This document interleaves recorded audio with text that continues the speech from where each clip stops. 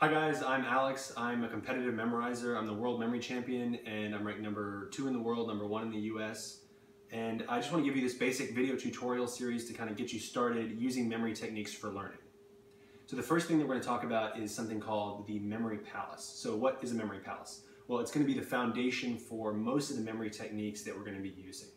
The basic idea is that our spatial memories are naturally much stronger than our memories for, say, words or numbers. So think for a second, if you imagine your house, right? Where are your scissors? Where do you keep your shoes? Where do you keep your Christmas decorations?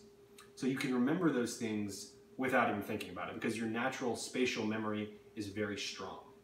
So you're probably already subconsciously using a version of this technique already. So for instance, when you're thinking of your notes and you're thinking, okay, I can kind of you know see it, it was in the top left part of the page there. That's just because your spatial memory is very strong. You're using your spatial memory.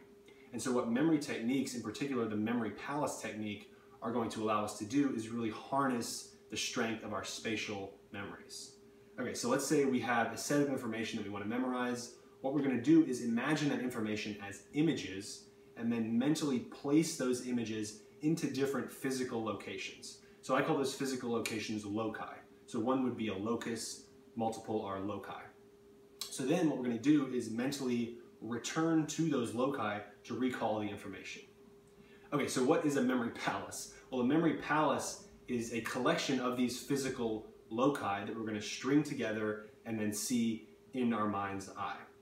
So I think you'll find this technique comes very naturally to you, mainly because it's in essence something you've been doing already.